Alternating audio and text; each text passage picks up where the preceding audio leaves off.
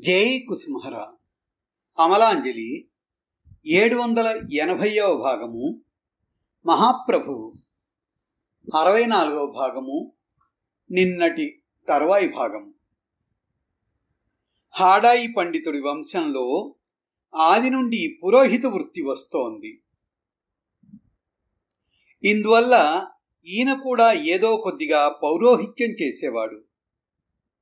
ఇంటిలో తిండి గుడ్డకి లోటు లేదు. కానీ ఈయన ఇల్లు సంతానం లేనిదైంది ఇందువల్ల ఓఝా దంపతులకు ఇది ఒక పెద్ద దుఃఖం అయిపోయింది. ఒకరోజు పద్మావతీదేవికి స్వప్నంలో ఒక దృశ్యం కనబడింది. ఎవరో మహాపురుషుడు కలలో దర్శనమిచ్చాడు. అమ్మా సంపూర్ణ దేశంలో శ్రీకృష్ణ సంకీర్తన ప్రచారం చేసే మహాపురుషుడు నీ గర్భం నుంచి జన్మిస్తాడు. మరియు ఆయన జగత్తులోనే మాన్యుడనిపించుకుంటాడు అన్నాడు. దాదాపుగా తెలుస్తూనే ఉంటుంది. సాత్విక స్వభావం గల పురుషుడు పరిశుద్ధ భావంతో నిద్రపోయినప్పుడు రాత్రి అంత్యంలో ఏ కల స్పష్టంగా కనిపిస్తుందో అది సత్యమవుతుంది అని. మహా సౌభాగ్యవతి పద్మావతీదేవి స్వప్నం సత్యమైంది సరిగా సమయానికి ఆమె గర్భం ధరించింది. పదమూడు వందల తొంభై ఐదు మాఘమాసం శుక్లపక్షంలో పద్మావతీదేవి గర్భం నుండి పుత్రరత్నం జన్మించాడు. ఈ పిల్లవానికి తల్లిదండ్రులు నిత్యానందుడని పేరు పెట్టారు. తర్వాత కాలంలో ఈయనయే నిత్యానంద ప్రభువు లేక నితాయి పేర్లతో పిలువబడ్డాడు. గౌరు భక్తులలో ఈయన బలరాముడుగా పూజింపబడ్డాడు. అదేవిధంగా ప్రసిద్ధికెక్కాడు. చిన్నతనంలో నిత్యానందుడు చూపులకు చాలా అందంగా ఉండేవాడు. శరీరం తీర్చిదిద్దినట్లు గొప్ప లావణ్యమయమై ఉంది. ముఖంలో కాంతులు వెలువడుతున్నాయి. పసిడి ఛాయ పెద్ద పెద్ద కళ్ళు స్వచ్ఛంగా మనోహరంగా ఉన్నాయి. బుద్ధి చిన్నతనం నుండి చురుకైనది. ఐదేళ్ళ వయసులో ఈయనకు అక్షరాభ్యాసం జరిగింది.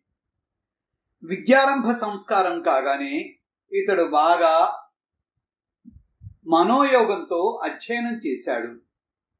కొద్ది రోజులకి ఇతడికి సంస్కృత సాహిత్యంలో వ్యాకరణంలో మంచి జ్ఞానం వచ్చింది. ఇతడు చదువుకునే వేళలలో చదువుకునేవాడు మిగిలిన సమయాలలో పిల్లలతో పాటుగా ఆడుకునేవాడు. ఇతడి ఆటలు మామూలుగా పిల్లలు ఆడుకునే ఆటలు కాదు. పిల్లలందరితో శ్రీకృష్ణ లీలలను అభినయిస్తూ ఆడేవాడు. ఒక బాలుని శ్రీకృష్ణుడిగా తయారు చేసేవాడు. మరొకడిని గోపకుమారునిగా చేసేవాడు. తాను బలరామునిగా అభినయించేవాడు. ఒక్కొక్క మారు ఆవుల్ని మేపి ఆటలు ఆడేవాడు ఒక్కొక్కప్పుడు యమునా తీరంలోని లీలలను అభినయించేవాడు. ఒక్కొక్కప్పుడు మధురాగమన లీలలను అభినయించేవాడు. ఈ లీలలన్నీ ఈయనకు ఎవరు నేర్పారో ఎక్కడ నేర్చుకున్నాడో మనకైతే తెలియదు అప్పుడప్పుడు ఈయన రామాయణ లీలలను అభినయించేవాడు. ఒకణ్ణి రాముడిగా మరొకణ్ణి భరతుడిగా ఇంకొకరిని శత్రుఘ్నుడిగా తయారు చేసి తాను స్వయంగా లక్ష్మణుడిగా తయారయ్యేవాడు. మిగిలిన పిల్లలను నౌకర్లుగా వానర సమూహంగా తయారు చేసేవాడు. ఇక అందరూ రామాయణ ఘట్టాలు నటించేవారు. ఒక మారు అడవులకు వెళ్ళే సంఘటన మరొకప్పుడు చిత్రకూటంలో సంఘటన ఎంతో చక్కగా భావాలు ఒప్పిస్తూ నటించేవాడు. మరొకమారు సీతాపహరణం అభినయించేవాడు. ఒకరోజు ఇతడు లక్ష్మణమూర్ఛలీలను అభినయిస్తున్నాడు. స్వయంగా లక్ష్మణుడై మేఘనాథుని శక్తికి మూర్ఛపోయాడు. ఒక పిల్లవానిని హనుమంతుడిగా తయారు చేసి సంజీవిని తీసుకురమ్మని పంపాడు. పాపం వాడు మరీ చిన్నవాడు. నితాయి చెప్పిన మాటని మర్చిపోయాడు. ఇటు నితాయి చాలాసేపు మూర్ఛలోనే ఉన్నాడు. అక్కడి జనం కూడా చూచారు. ఇతని నాడి చాలా నీరసంగా నెమ్మదిగా ఆడుతోందని ఎంత లేపినా ఇతడు లేవడం లేదు. ఇక పిల్లలు భయపడి తన తండ్రికి చెప్పారు. పాపం తండ్రి పరుగు పరుగున వచ్చి ఇతన్ని లేపబోయాడు. ఏం చేసినా ఇతడు లేవలేదు. అప్పుడు తండ్రికి బాగా దుఃఖం కలిగింది.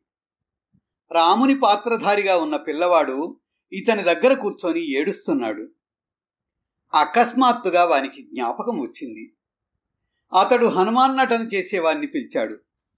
ఈ హనుమాన్ నటుడు సంజీవిని తెచ్చి నితాయికి వాసన చూపగానే ఇతడి మూర్ఛ వదిలింది.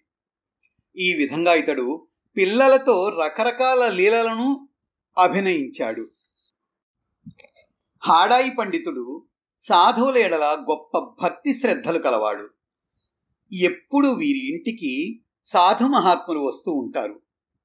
వీరు కూడా తమ శక్తి కొలది ఇంటిలో నిలువబడిన అన్నం ఉండని ఏమీ ఉండని దాన్నే శ్రద్ధతో ఆ వచ్చిన సాధువులకు పెట్టి సత్కరిస్తారు. ఒక రోజున ఒక సన్యాసి హాడాయి పండితుడి ఇంటికి అతిథిగా వచ్చాడు.